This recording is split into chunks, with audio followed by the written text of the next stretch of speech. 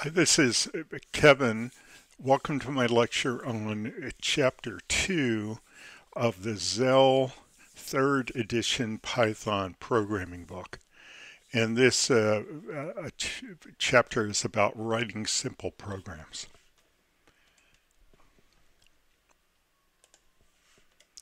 As is uh, typical, I'm going to leave the objectives for you to read by yourself.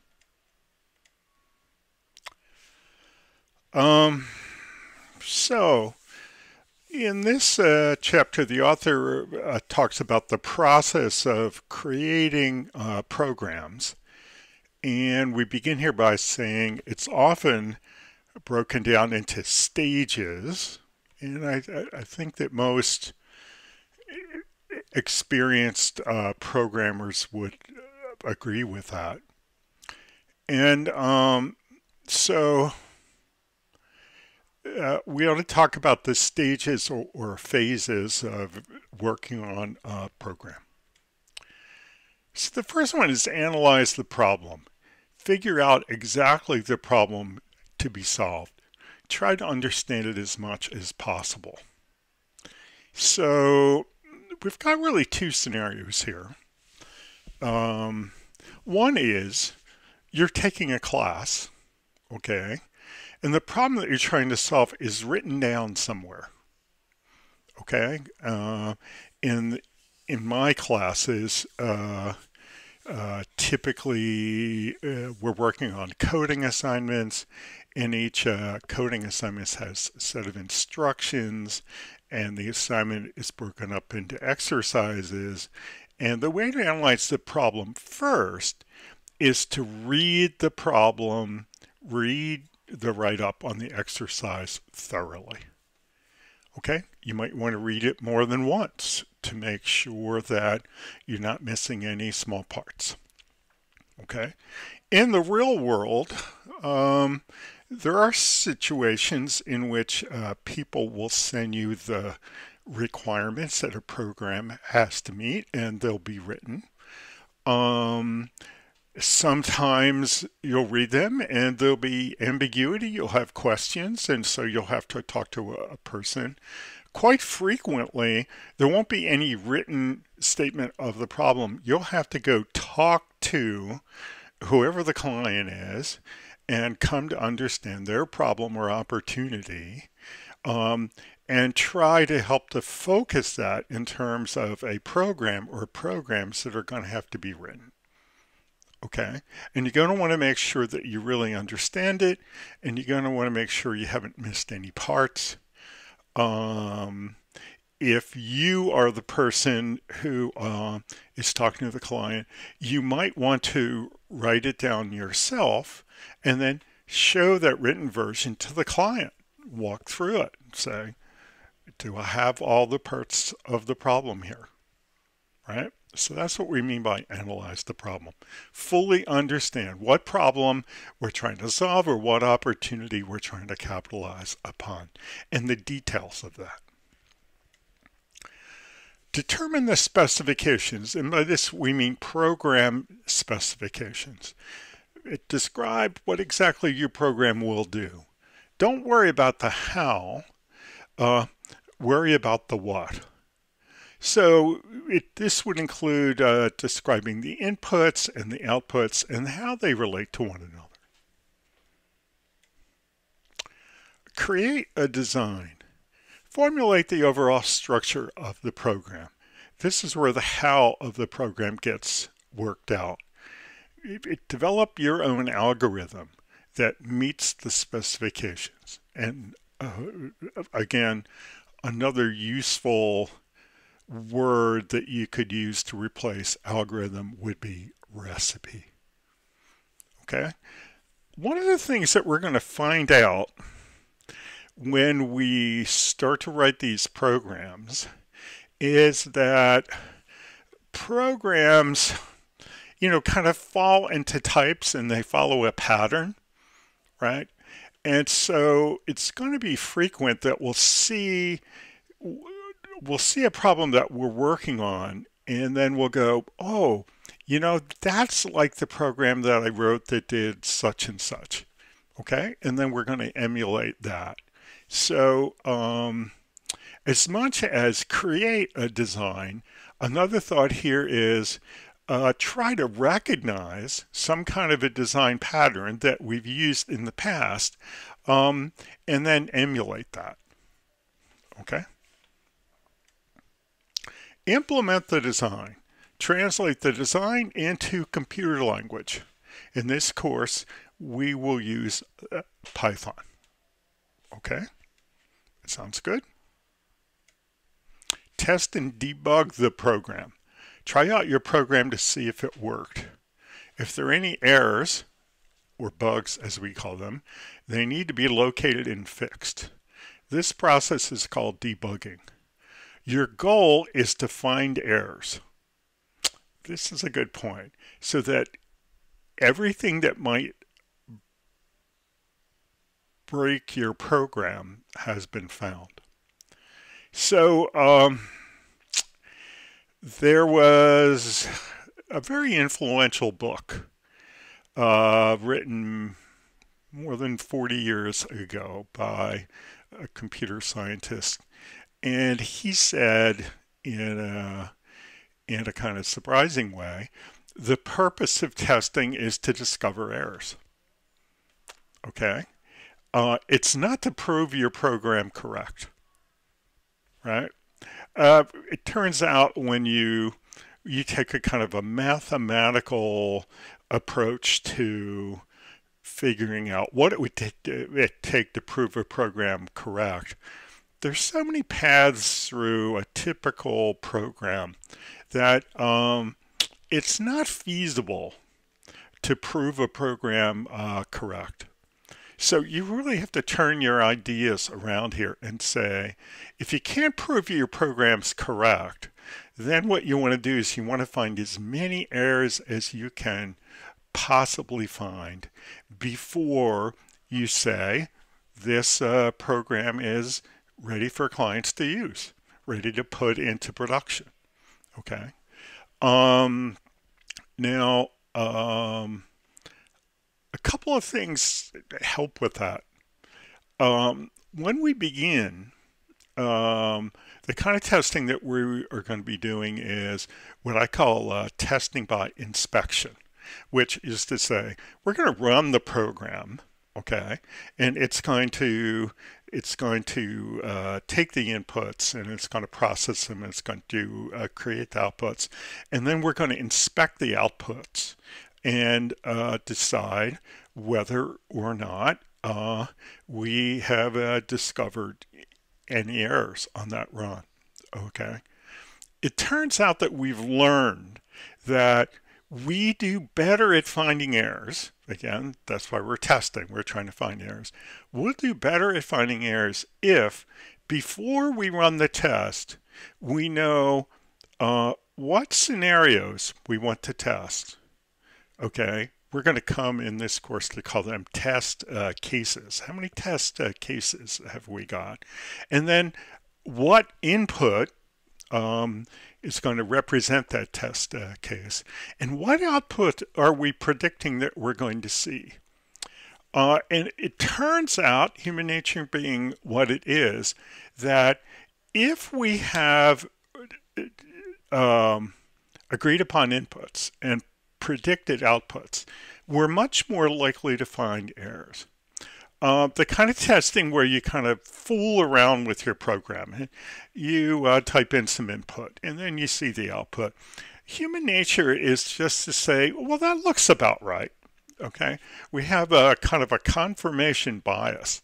Okay. So the more specific we can be about the different uh, uh, cases that we're trying to test and what exactly the input's going to be for each of those and what output we predict, the more efficient we're going to be at finding the errors. Okay? And that means that fewer errors are going to be found, fewer bugs are going to surface after we release this uh, code to uh, clients and put it into production. And then programs have a life after we release them to clients and put them into, into production. We need to maintain the program. And maintaining the program has, has uh, two general aspects. One is that we're going to continue to find errors even after we put the program into production. So we're going to get problem reports about our code, and we're going to have to decide is that truly a problem uh, or is that a feature? Is that a bug or is that a feature? It's just, uh, it's a feature if it turns out that it meets the requirements and the user just misunderstands what the program is uh, supposed to do. It's a bug if uh, it's making some kind of mistake. Okay, so we have to do that over the life of the program. But the other thing that happens uh, is that these programs evolve over time. And that's because the requirements change, and that's because the world is changing every day. And um, as the world changes, our organization has to adapt. And uh, the software that we write helps our organization serve our uh, clientele, uh, and our organization has to adapt, and that means our programs have to grow and change over time. So it turns out that if you look at the life cycle of the program, this maintain the program uh, phase of it, it goes on a long time and it could involve a lot of work.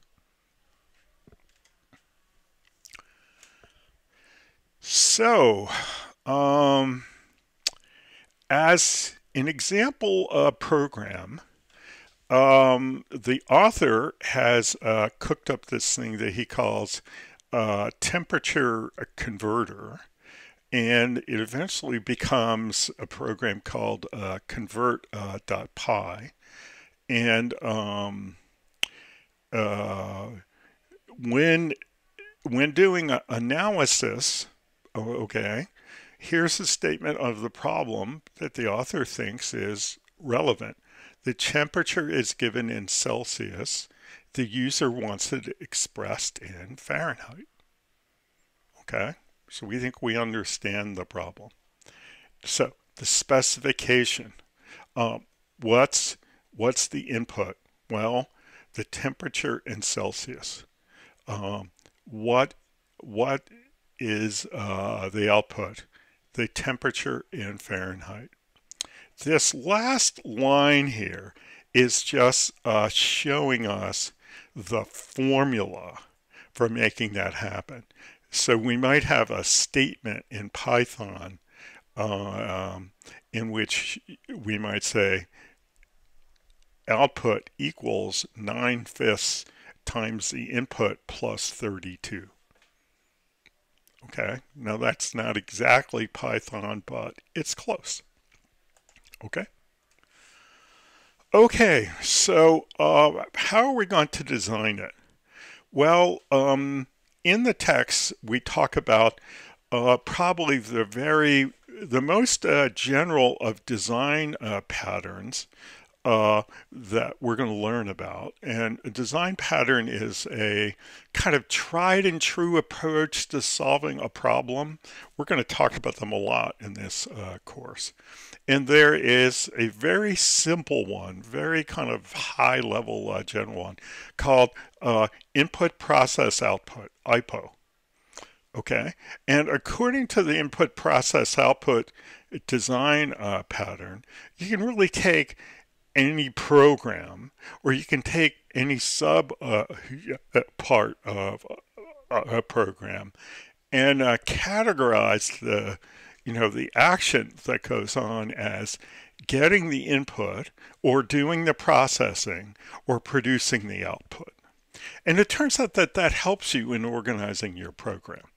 Okay, so we're going to use that uh, general design uh, pattern. So we're going to prompt the user for the input. That's the input part. That's going to be the Celsius uh, temperature.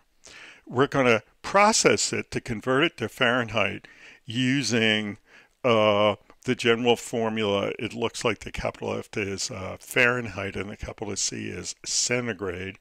And those are kind of maybe scientific notation. So uh, uh, Fahrenheit equals 9 fifths times the temperature in Celsius plus 32. And then we're going to output the result by uh, displaying it on the screen. Okay, so that's our design phase uh, thinking for the program. Um, before we start coding, let's write a rough draft of the program in pseudocode. Now, pseudocode, uh, the fact that the author talks about pseudocodes is one of the things I like the best about this uh, book. So, pseudocode is a a design uh, tool that helps us uh, kind of organize our design uh, thinking in a fairly concrete way without going so far as producing the end Python code itself. So pseudocode is typically a, a mixture of uh, English, I guess if you if you're doing pseudocode in English, if you're doing it in some other language, well then uh, uh, it would be that language. And whatever language you're going to implement the program in. So here for us, it's going to be a combination of English and Python. Okay. Pseudocode is precise English that it describes what a program does step by step. Okay? And it, it, it's precise English in the following way its goal is to eliminate ambiguity about how we're solving the problem. Um, it's sometimes a, a kind of um, it's a terse way of writing English. So it's not always proper literary grammar and punctuation, okay? But it's precise in that when we're done with this, we hope that we've squeezed all the ambiguity out of the design.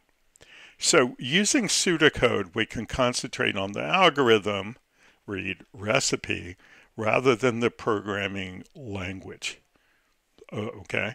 This is especially important for beginners who are often um, very frustrated by how hyper literal the Python interpreter is.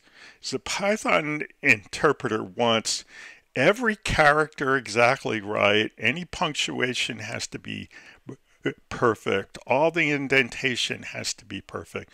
So just typing the program in uh, is going to be, at least in the beginning for the beginners, it's going to be pretty frustrating.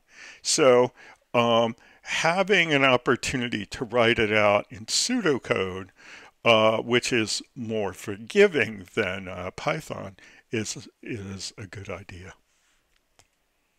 Okay, so here's what pseudocode might look like for the design that we have.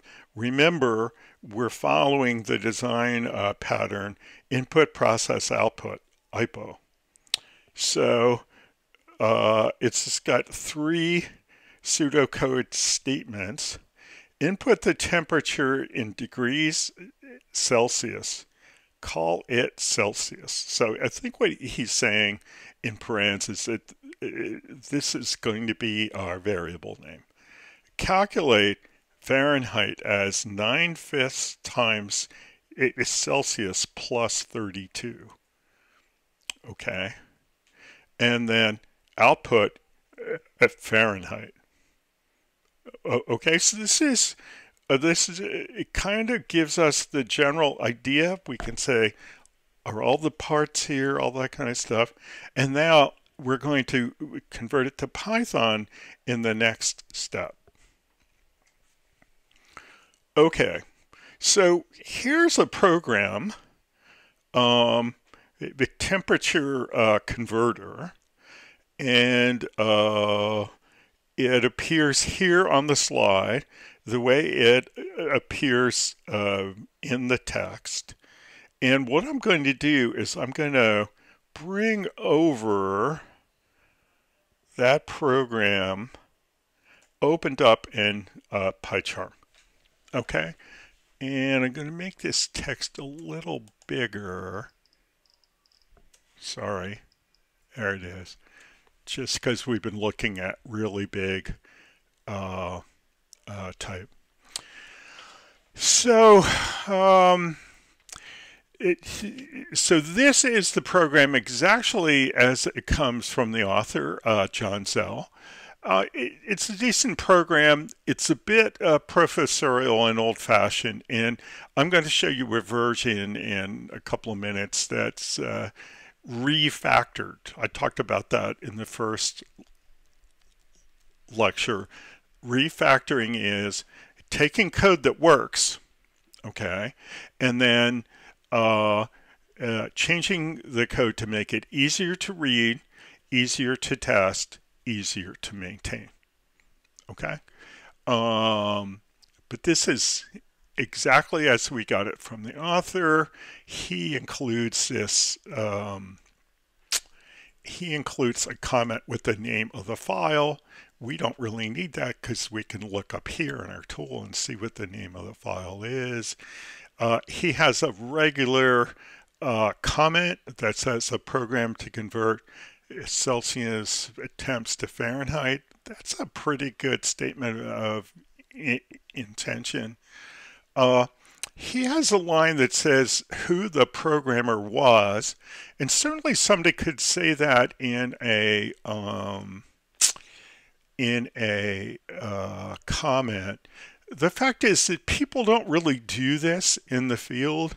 Uh, most people who are working with a team of people uh, to uh, collectively uh, uh, create a body of code We'll use a code version control system like Git, G-I-T, and uh, one part of Git is you can look at who made what changes to which of the programs.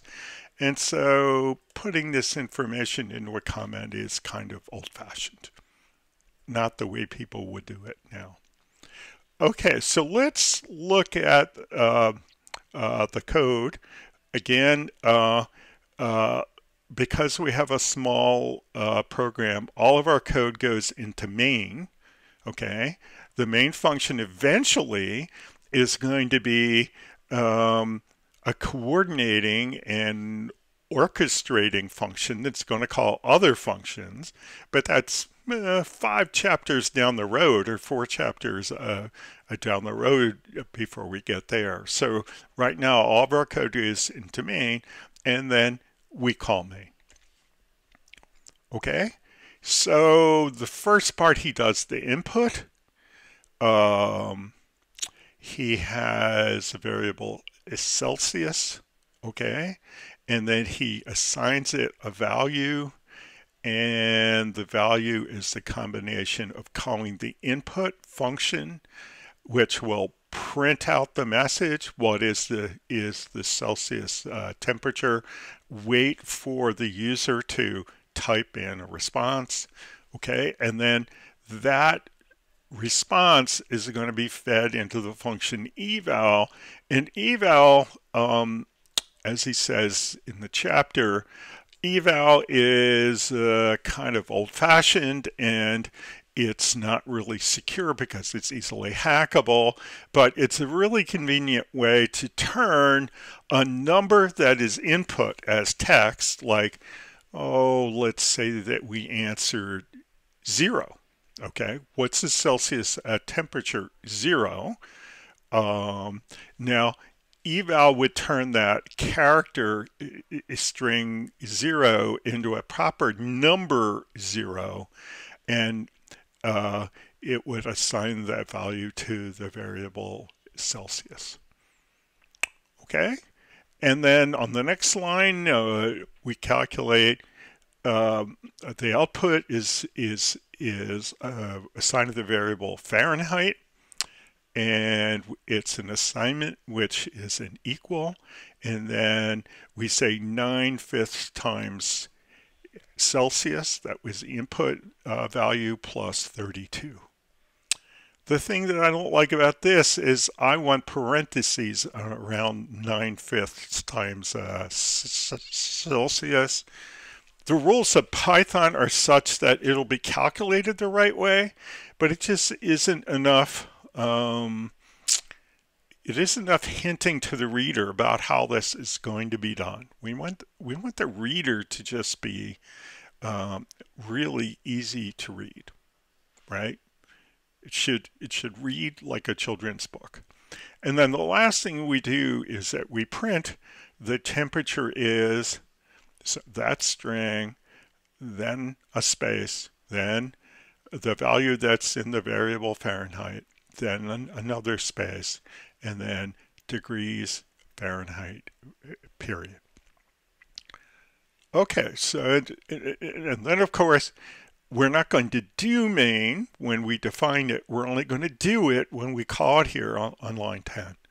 So if we run this, okay, and it says, what's the sense, the Celsius uh, temperature, and we give it a zero, it'll say the temperature is 32.0 degrees Fahrenheit. And if we run it again, I got to pull this over so we can see my run again uh, button. Uh, if we say the Celsius uh, temperature is 100, that's the boiling point for water. Uh, it'll say the temperature is 212 degrees Fahrenheit. So that seems to work fine.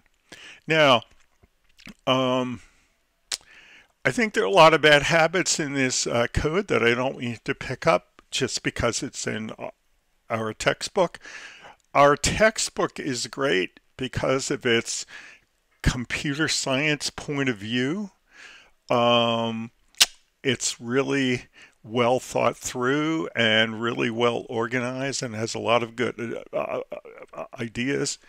Uh, the code is a bit old fashioned and, and academic. Okay, so we're just going to refactor each of these as we go through and this is what it would look like. Uh, okay, so um, there's no uh, comment with a name of the file that this is in. You just have to look at, at the tab, okay? Instead of using a regular uh, comment to document the intention of the program, we do it with a doc string, okay? Now this is just, uh, it's, it's a fairly short phrase so we put the triple double quotes on the same line as the string itself. Okay? We skip two lines because we always skip it two lines before a function and after a function. Okay? Then we have the call to main, and then we have a empty blank line after that call the Python style guide says we should do it like this. Okay, now another thing that you're going to see is that all of, the character strings that I have on lines uh, 5 and 7 um, are given apostrophes to uh, delimit them. That's a little more modern and less old-fashioned than the double quotes. The double quotes will work. I wouldn't consider them wrong. I just consider them stodgy. Okay, so we've got the same code here on Live 5, okay, where we um, these nested functions, these functions inside of uh, functions, always execute from the inside out. Okay, so what fires off first? Well, input and it it writes on the console what is the Celsius uh, temperature, okay, and then eval it turns that a character string value into a number value, and then the assignment to Celsius. Um, then that number value is associated with the variable Celsius. On line 6, I added parentheses around 9 fifths time Celsius because that's a better coding practice. Okay. there are rules about how Python evaluates expressions in the absence of um, proper groupings with uh, parens. Um, and that's called something like the order of operations. Um, that's uh, something you should maybe know, but uh, something that you should not have your reader rely upon. Uh, if you're going to do this multiplication uh, and then do the addition, well, you should put the parens in to make that clear. And then the last thing is that we print the answer. And the kind of printing that we're doing here, each item that we print is going to print out and they're uh, separated by commas. And uh, uh, the Python print function will put one blank space in between the items. That's the reason why we don't need a space after is in this uh, opening string and why we don't need a space before degrees. Okay, uh, by the time we finish with chapter three, we're going to be formatting these with a, a special kind of a string called an F string, but we're not going to get there in chapter uh, two. And it's important to know how this kind of a print works as well. So if we run this, okay, uh, what is the Celsius uh, temperature? Uh, zero. The temperature is 32.0 degrees Fahrenheit. And then we run it again and we say, well, what is the Celsius uh, uh temperature? 100. Uh, the temperature is 212 degrees Fahrenheit. okay, so um,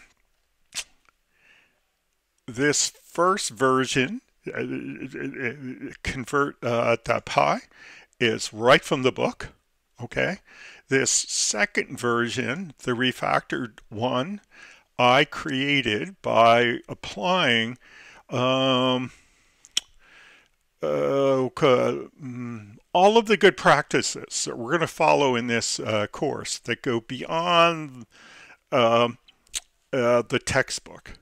Uh, I've applied these and I've refactored this. And again, what do you do when you refactor? We take code that already works, okay, and you change it to make it more readable, more testable, more maintainable.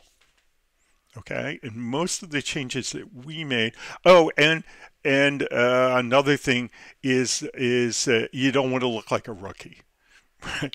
So uh, less embarrassing. All right. So that's uh, that. Okay, the next couple of slides we talk about this program, and I'm not going to uh, talk about that. Okay, in the chapter we talk about names. So uh, we have to give names to things like variables and functions and all this. And these are called identifiers. Okay.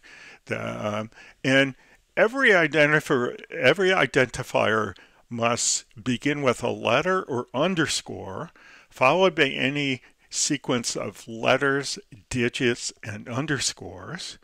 Identifiers are case sensitive. Okay. So let's look back here. Okay.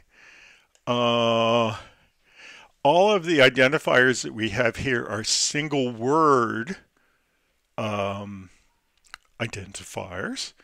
Okay, they're all lowercase. So the names of functions, all lowercase. The names of variables, all lowercase. What if you wanted to have multiple words? Okay, well then we separate the words with underscores. Celsius value. Okay, Fahrenheit value. Okay, and one expression that we have for this all lowercase naming with words um, separated by underscores is it's called snake case. Okay, because it kind of looks wiggly like a snake. Also, it's the Python way. A Python is a snake. Snake case. Okay. Um. Uh, okay, so now we're going to undo those. Okay, so uh, that's how we're going to do that. Now we'll we'll be introduced to other things in Python apart from the names of functions and the names of uh, uh, variables, and they might be in other uh, kinds of cases. Okay, okay, but um, for function names and variable names, all lowercase, separate multiple words with underscores, and we call that snake case. Okay. Um, these are all different valid names. These are all valid names, but um, everything that starts with a capital uh, would only be proper if it were the name of a, a class. Okay, I'm sorry. I went the wrong way. So the only thing that I see is that is a proper variable name or function name is lowercase spam. All these other things have some problem that they wouldn't be proper names for variables and functions, and those are the things that we're naming right now today. Uh, some identifiers are part of Python itself. They're kind of uh, built in.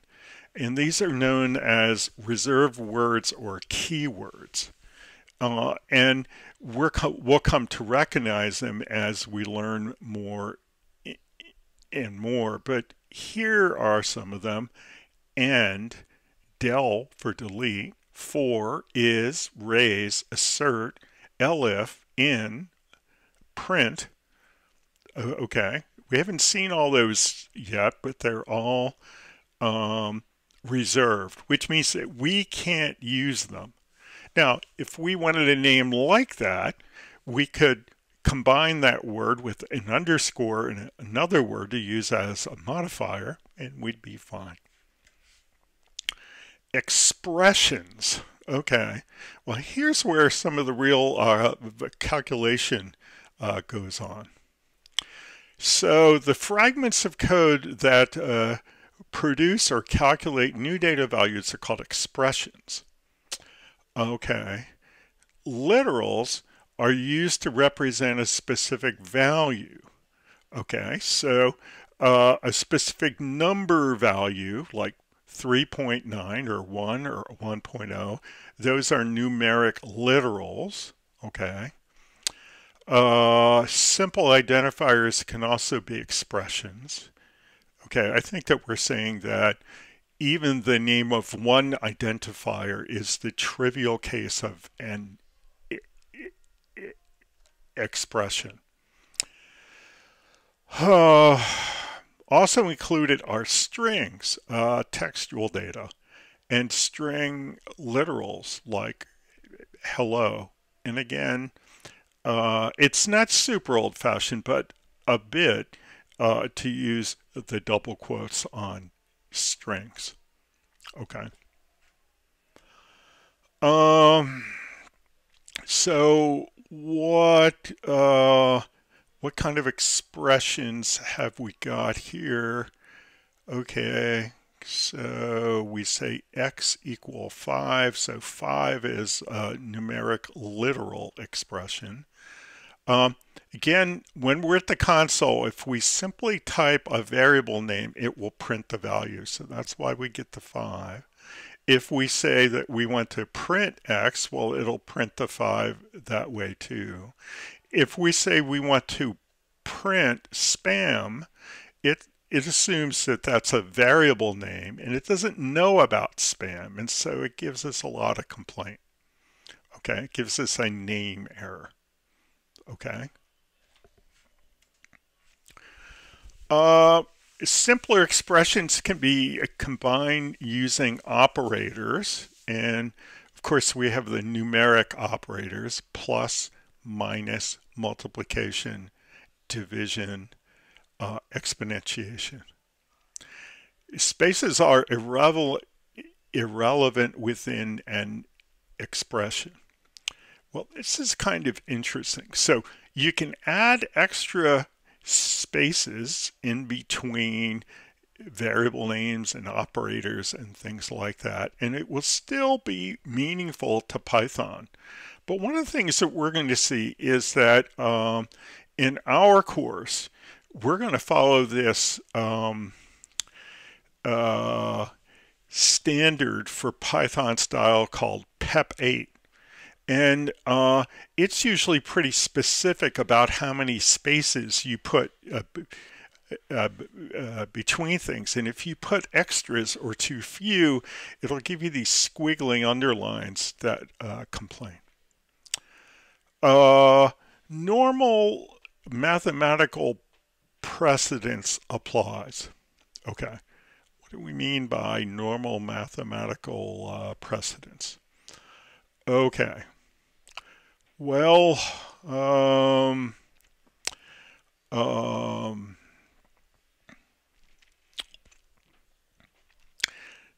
sorry. That's very frustrating. Apologize for that.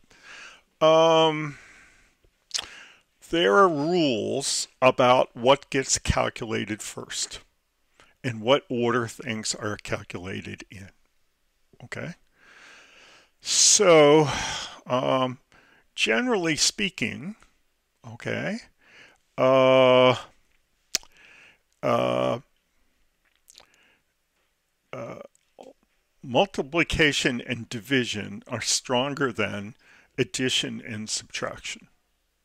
So addition and subtraction uh, will be done uh, uh, after multiplication and uh, division. Uh, it, it, generally speaking, um, things on the left are calculated before things on the right. Okay, so how would this apply here? Well, we would do this left grouping before the right. Okay, so um, before we did the division, we would calculate the, the parenthetical x1 minus x2, okay? Uh, we would also um, calculate 2 times n, and then we would do the division. And then we would have an answer for the left side, okay? And then we would do the right side. So uh, we would do uh, a k to the third power. That's what this is, okay? And once we knew what spam, the value for spam was, and k to the third power, then we would do the division. Then we would have the value for the right side. And then the last thing that we would do would be the addition. Okay output statements. Okay, so um, we're going to be uh, creating outputs with the uh, Python print function. Okay, uh, if you do, if you don't put any uh, if you don't put anything between the parens, it'll just print a blank line. Okay. Uh, for right now, we're going to do a lot of these where we say print and then we have some expression. Expressions are always evaluated by Python and they take on some value and then we print that value. Okay, if we've got more than one expression, we can separate them by commas. And what happens is in the output, we get the value for the first expression it skips a space. The value for the second expression, it skips a space and then it continues on. Uh, Successive print statements will display on separate lines, new line. A bare print, that's what he calls this, will print a blank line. Okay. So if you look at all these, let's see, if we say print 3 plus 4, it'll print 7. We, if we say print 3, 4, and 3 plus 4, then we have 3 space 4 place, space uh, 7. Print all by itself will give us a blank line. Print 3 comma 4 uh, comma end equals space. Um,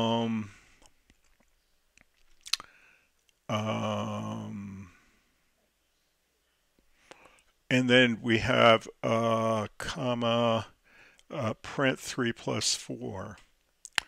Okay, so we get on the same line, we get 3 from up here, 4 from up here, and then 3 plus, plus 4 equals 7. Implicitly, every time we call print, the very last thing that gets added on is a character at the end called a new line character, which skips to the next line, okay?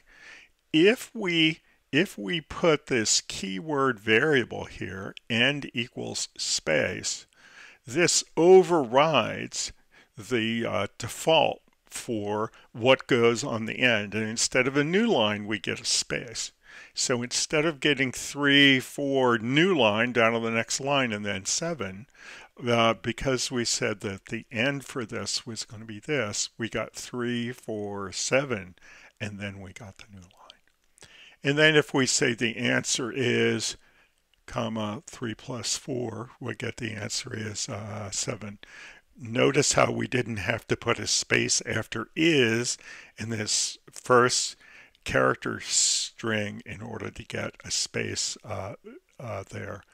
Um, by default, uh, every value in this list um, as they're separated by commas, you can almost think of the comma as generating the space, although that's not uh, uh, technically true.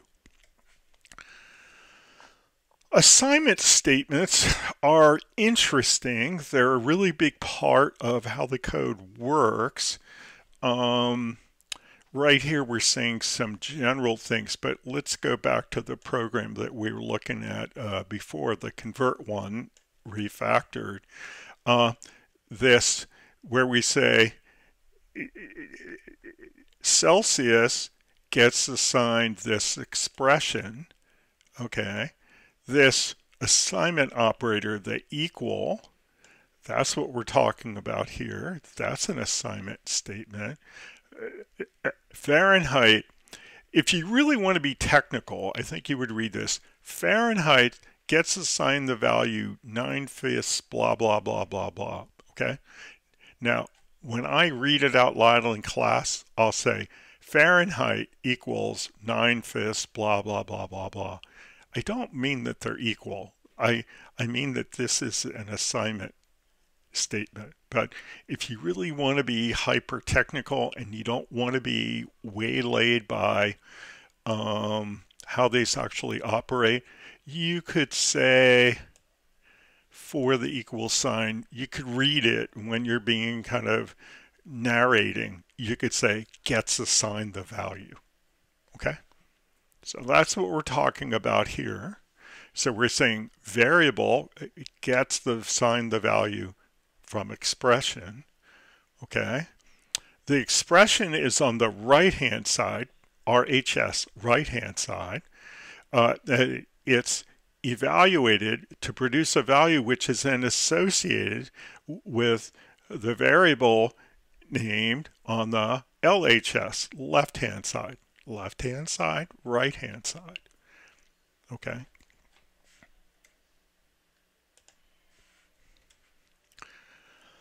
Okay, so here we say x gets assigned the value 3.9 times x times 1 minus x.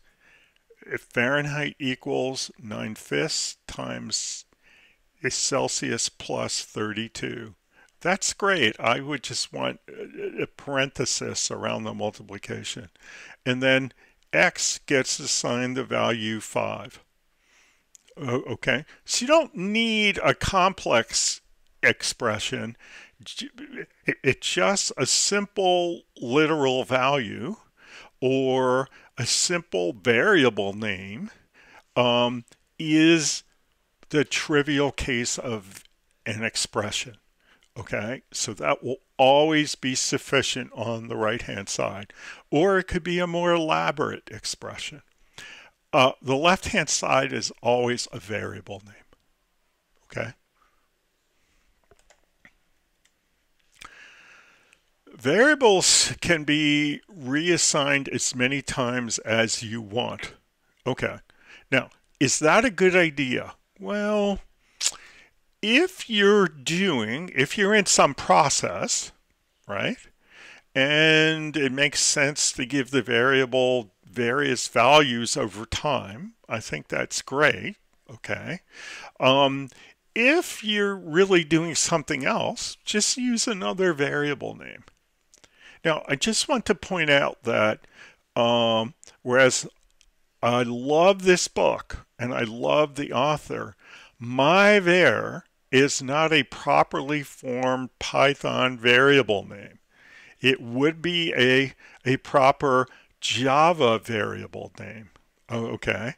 Um, myvar in Python would have to have a would have to be in all lowercase and it would have to have a hyphen between my and and var. That would put it into uh, snake uh, case right? But the way that variables work in Python, you can keep assigning them different values, okay? Um, that works just fine. So variables are like a box we can put values in, okay? And they kind of are, right? Um, in fact, in some languages, like in the programming language uh, C, which isn't as object-oriented as uh, uh, Python, uh, variables are associated with a part of the memory. Uh, uh, so um, variables have a space that kind of looks like a box, and you put one thing in the box or the other. Okay. Um, so it's okay to think that this is the way that they work. So um, you can think of, of this statement which recomputes x, right? You can say before you started, the initial value of x is 10, okay? And after you execute it, it's 11 it's very important to not get kind of waylaid into thinking that this is a, a statement of some algebraic truth. This is just an interesting algebraic programming shorthand. What this really says is take the current value of x, add 1, resolve that and get an answer, and then put the new value back into x. So we begin with 10, we end with 11. Okay, now does that really work? I mean, are there really boxes that hold value in uh, Python the same way that they did in non-object oriented languages like C? No, because uh, Python is object oriented, it's a little more sophisticated than that. So uh, before, so variables um, um, are associated with value objects. Okay, because each value that we have is a programming object. Okay, so uh, here, uh, before we executed this, x, it gets assigned x plus 1. Uh, x was associated with the value object integer 10, okay? Now, what's the nature of that association? Can we say that x points to the value object? We would, except that there's this long history in programming languages that there were these things called pointers and people did lots of wild and crazy things with them. And so pointers kind of got discredited okay? And so um, if it hadn't been for that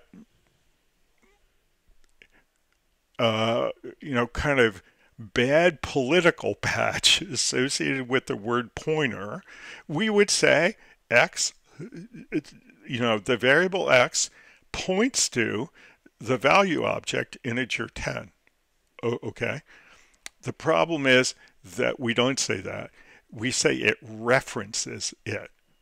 Is that pointing? Yeah, it's pointing without the name that's been uh, discredited. Uh, okay. He said it's like having a sticky note on the value that says this is X. Okay. It's kind of like pointing. It, what happens after, though, we're not. Uh, so, what happens is that when we recompute the value for X, what we do is that we reference a new value object. Okay. This is the value object for integer 11, okay? Uh, what happened to this integer value 10? Well, it depends on, on whether any other variable is pointing to it. It could be, okay?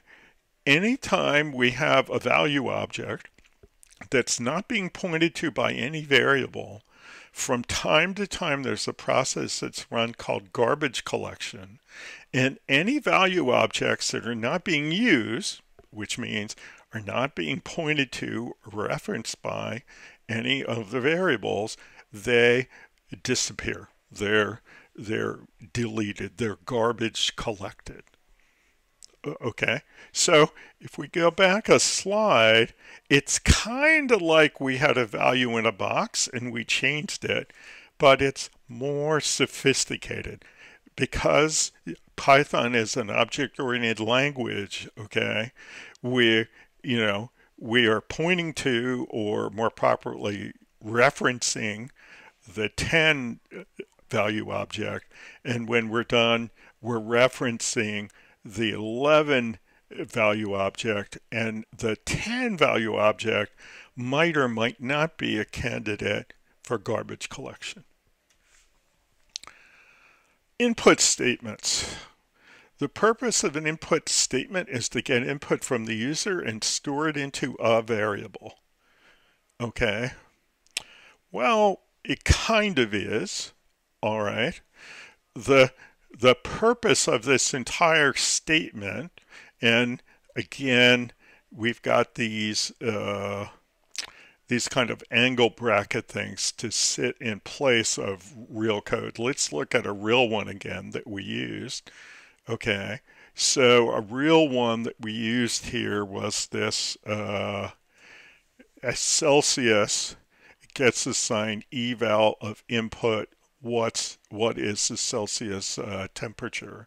So this entire statement, um, the input sends a prompt uh, to the console. We can see it down here, and then the user types in uh, some characters, hopefully numbers. We're trusting them for uh, trusting the user for that to be numbers.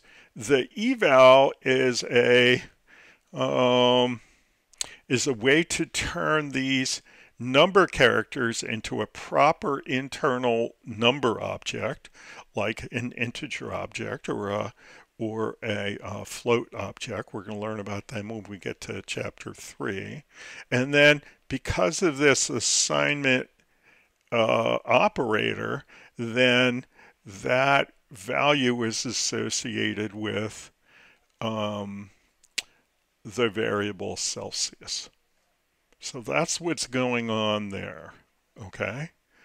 um, he says the eval is wrapped around the input, and when we wrap functions around functions, uh, the more proper way to say that is that functions are nested inside of uh, uh, functions.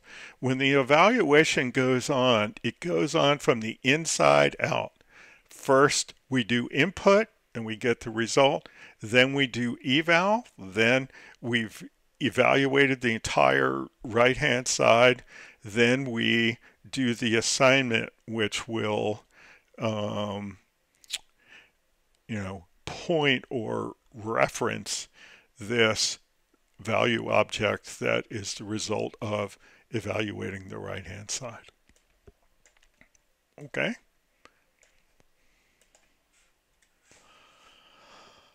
Assigning input.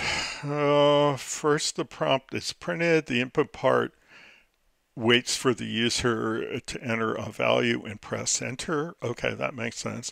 The expression that was entered is evaluated to turn it from a string of characters into a Python value, a number.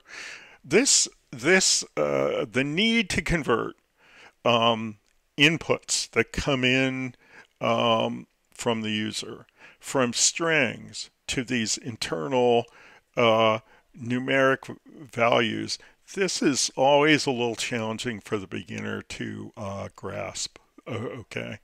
Uh, numbers, when they go to the users, are strings.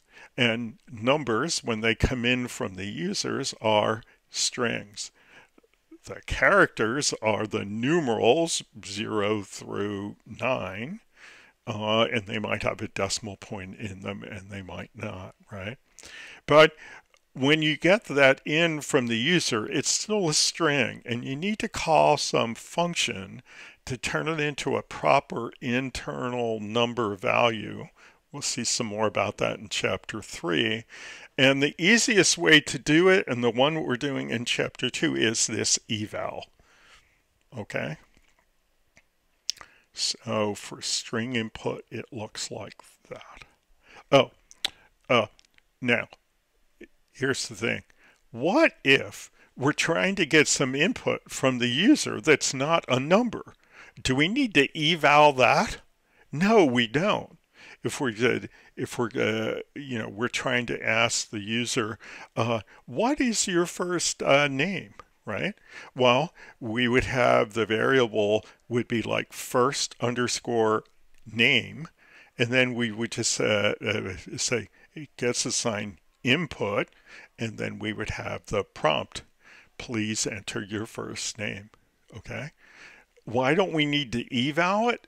Well, because we don't need to turn it into a number. It's a string, okay? Users type in strings, and if we're just using it as a string, well, they just, we just assign it right to the variable. Beware of the eval function. We're not going to use it starting in uh, chapter 3. Okay?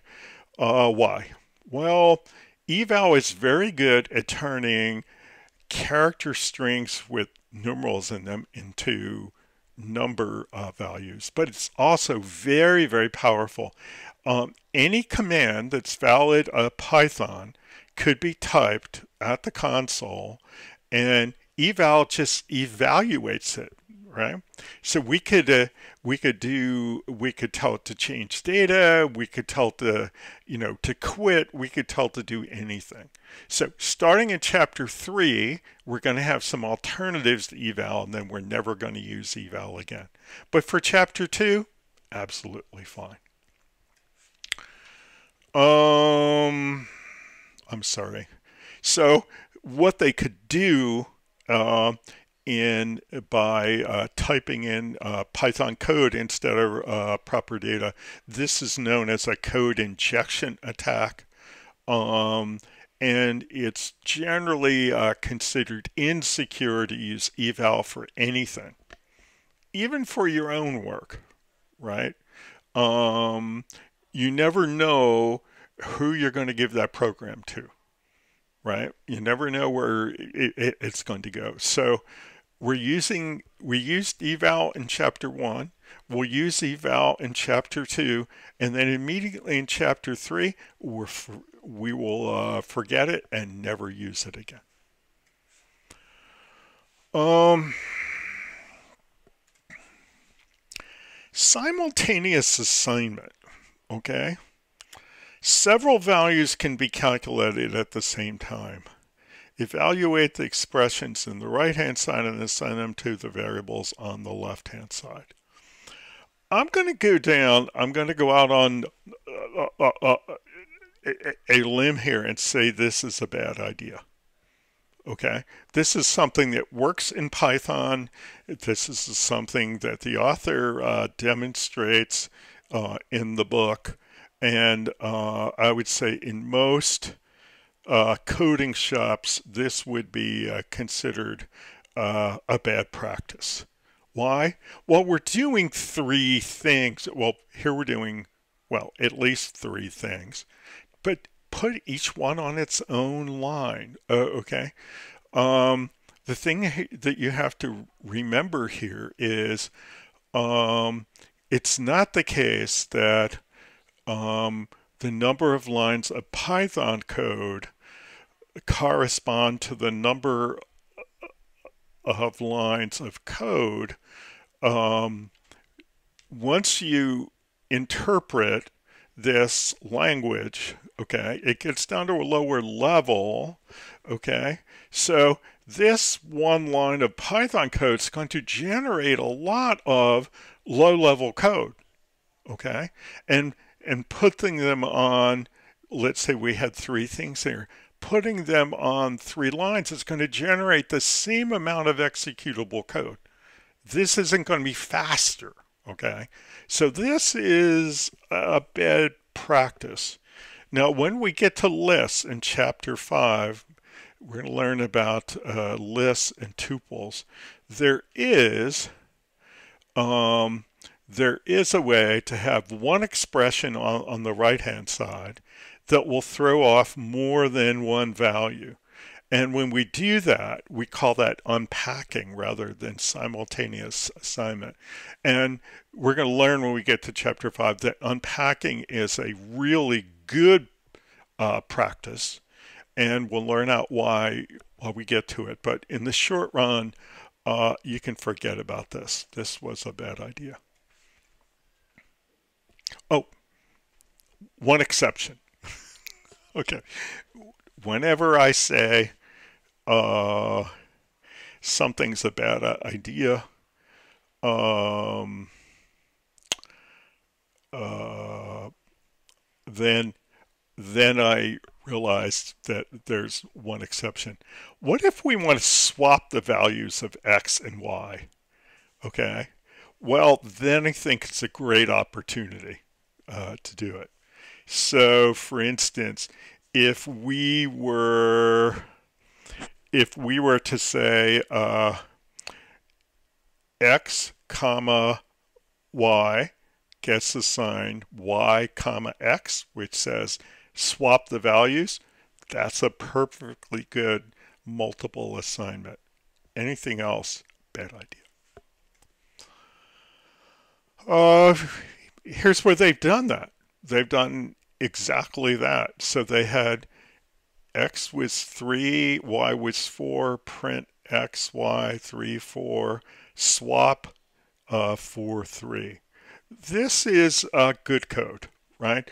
The it, Doing this on uh, multiple lines requires a temporary variable to hold one of the values. It's much harder to read, okay? But uh, just having, you know, uh, four calculations on the right hand side and four variable names on the left hand side is uh, a wrong headed idea. Uh, okay, so in this example, um, uh, he calls this uh, simultaneous assignment, but um, it's really not, okay? So, um, so here's what's going on. He's created a function called spamneggs. and um, he prompts the user for more than one value. So he says, uh, enter number of slices of spam followed by number of eggs. Okay. He's expecting the user to know that he wants a comma in between those. So when we run this, um, it says enter the number of slices of spam followed by the number of eggs, and then the user enters three comma space uh, two.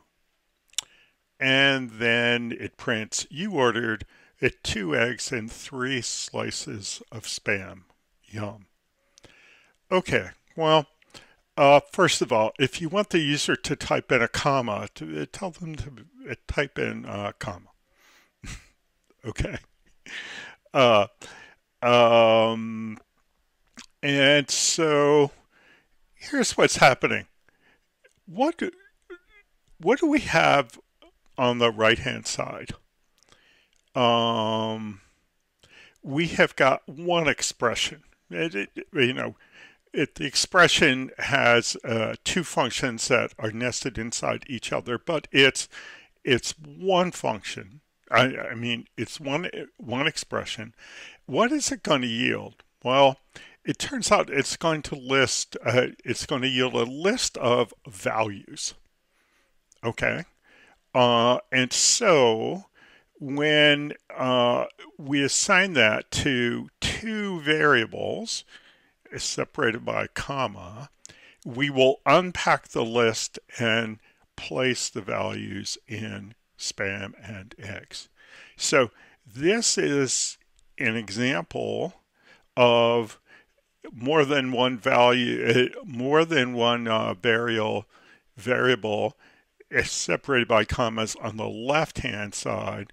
This is unpacking, and we're going to uh, cover this in uh, chapter 5. It's a great practice, but this is really not simultaneous assignment. Definite loops, okay? So, um, um, we can say uh, for variable name in sequence, and then we have the body of the loop. Okay, and uh, let's see what one of those looks. We've got a program uh, coming up, um, which I'm going to show you in a couple of minutes uh, more formally.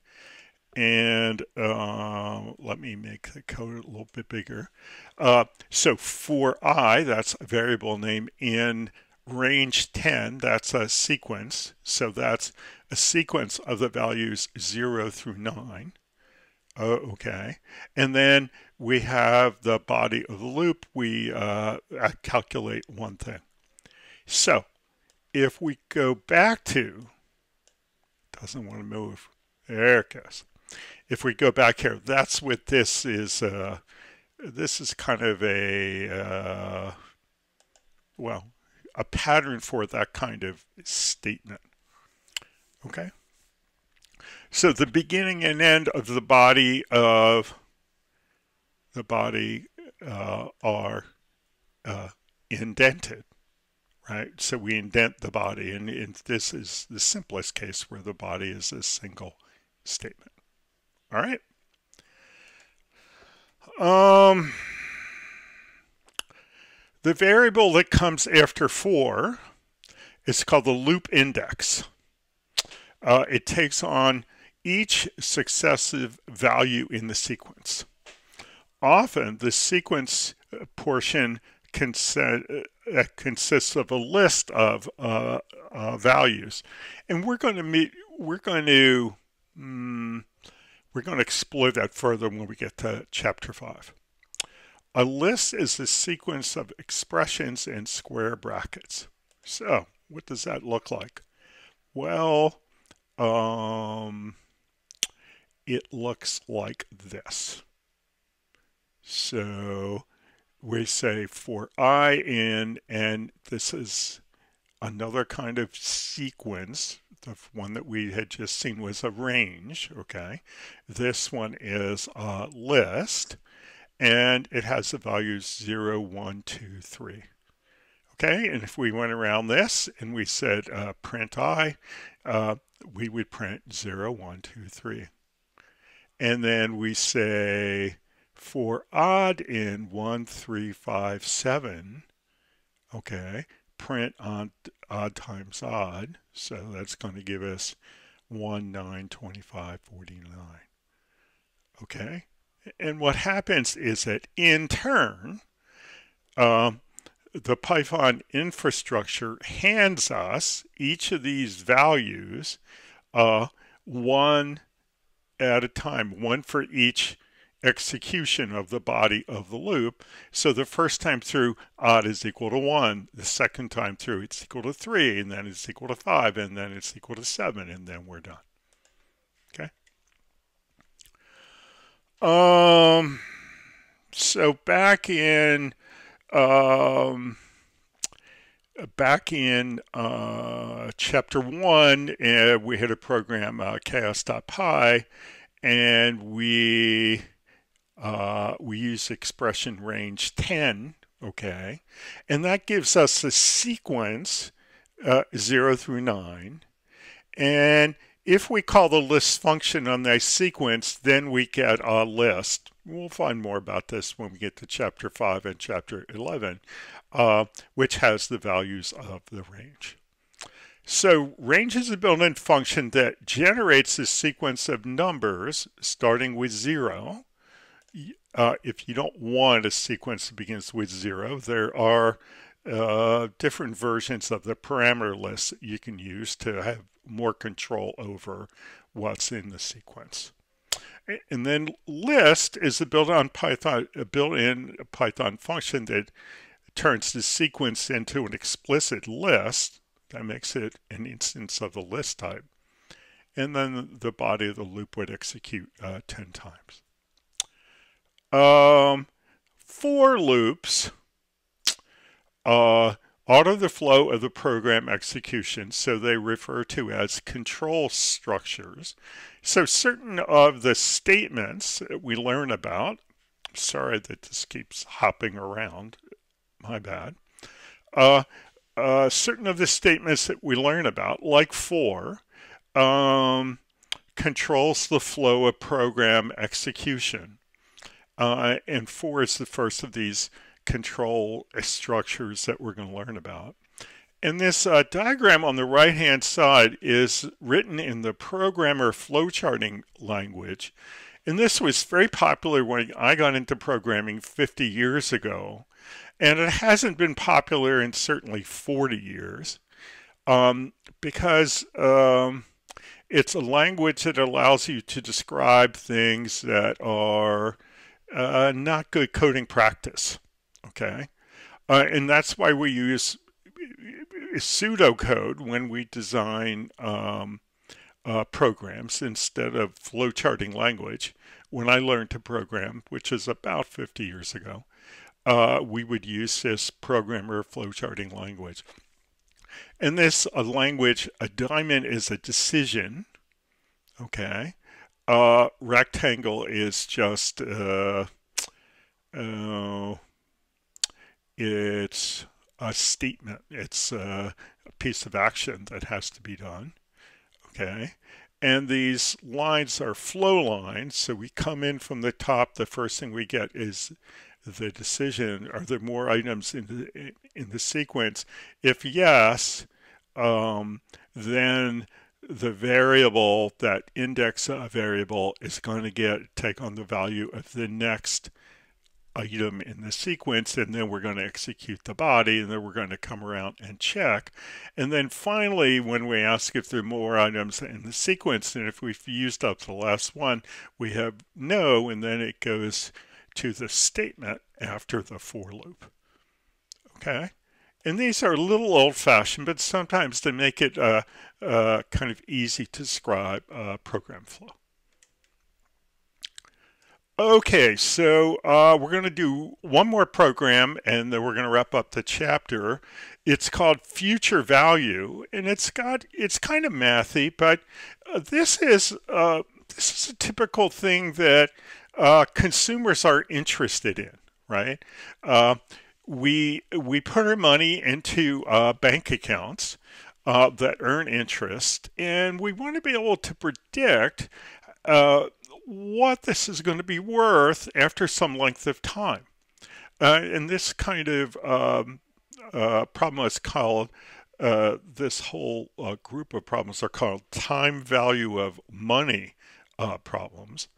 Uh, and most calculators that are worth their while these days have functions on them that relate to time value of money.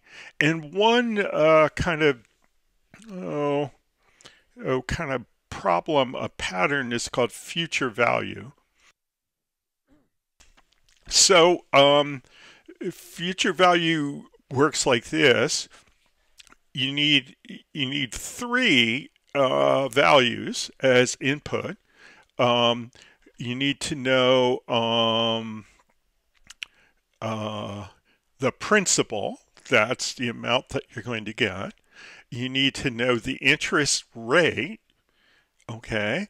And then you, you need to know the number of uh, periods um, that um, it's going to continue to earn interest, right? So here we're saying that we deposit money in a bank account, how much uh, is the account going to be worth in 10 years? Um, and I'm sorry about that again. Given uh, given um, the principal and the interest rate, okay, and then the output is going to be the value of the investment in uh, 10 years. And why did we pick this? Well, this is the kind of thing that you can calculate with a for loop, okay? So here's the specification. The user enters the initial amount to invest. That's called the principal.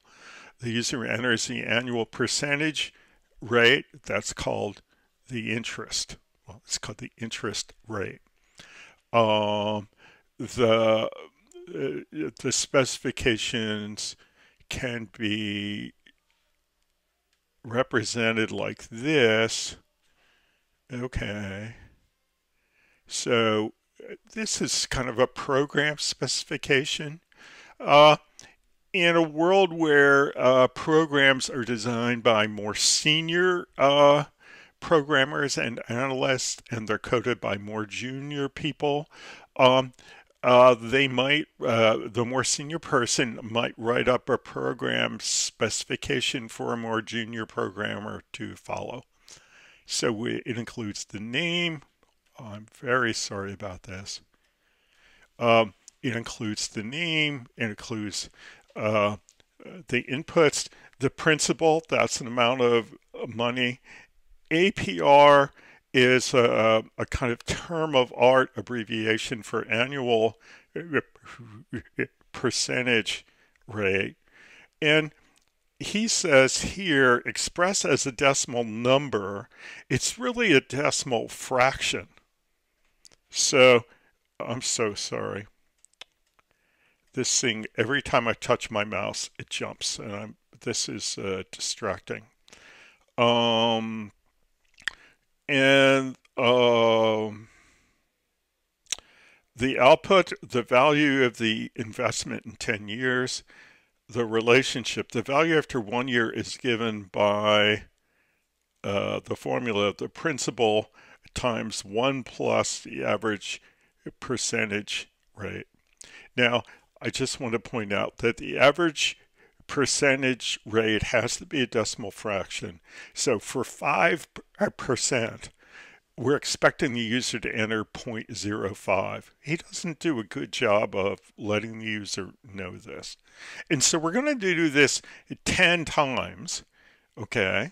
Um, and that's how we're going to get the value after 10 years. Uh, the the uh, design. This is pseudocode. Now, uh, first I want, want to point out, what do we do with uh, pseudocode? Do we do we put it into our Python program? Uh, no, we don't. Okay, this is the kind of thing that we jot down in a notebook, or we might type it into a text editor in some kind of a .text uh, document um, that we'll want to hang on to. But this is this is like a sketch that an artist would do before they would do a, a you know a fine painting. Uh, uh, uh, okay, it's for the use of the artist as they're producing. Okay, so print an introduction, input the amount of the principal. He calls, yeah, I think he says here the variable is going to be principal. Input the annual percentage rate. Uh, he's going to call the variable APR. That's kind of vague, but it is a term of art, so that's okay with me. I I would have rather been explicit that it was going to be a decimal fraction. Uh, repeat the calculation uh, 10 times. The principal gets assigned the principal times 1 plus the APR, and then output the value uh, principal. Okay. And the implementation, each line uh, translates to one line of uh, Python code. Print an introduction. He's showing us each of the parts. Okay, and then here's the program. And I'm just going to pull over uh, this uh, program in uh, PyCharm. And you can see uh, uh, that, again, we've got the comments at the top. We're going to rework those. He prints the introduction. I don't know why he needs to do it on two lines. Um, when uh, instructors are creating slides, and this has to go on a slide, they're always afraid they're going to run out of room to the right. So they're forever uh, doing things that are maybe not good everyday programmer uh, practice, but uh, make the courseware readable. So I wouldn't have put this into uh, two prints. Uh, we prompt and we get the principal. This is uh, chapter two, so we're still using eval to turn it into a number uh, type associated with the variable name principal. Uh, we do the same thing for uh, annual interest rate. I don't think we've given the user enough hint here that 5% is going to be 0.05. I'll show you how I fix that up. And then we just have this, um, we just have this for loop um, where we recalculate the principal and we go around uh, 10 times and we keep adding the interest earned to the principal. And so when we're done with the loop, the principal is the future value, and then we say the value in 10 years is principal. And then, of course, when we defined main, we didn't say execute it, we just said remember how to do it. So now we have to call main. Okay, so if we run this program, okay, we can say uh, how much is the principal? $1,000. Uh, enter the annual interest rate. Let's say uh, it's going to be 5% uh, I put in 5. Okay, that's a mistake. Okay, the value in uh, 10 years is astronomical. Okay, so that can't be right. Okay, what did he really want us to do? Well, $1,000. Okay, and 0.05 and uh, 1628. So we've earned 628 and change, $629 in uh, 10 years at 5%. That sounds about right. Okay. So when I refactored this, I just cleaned up things. Okay. Uh, first of all, I turned the comments um, into a doc string. Okay. Uh, second of all, I took all of the all the character strings and I surrounded them with uh, apostrophes instead of quotes because I think that has a more modern kind of a look.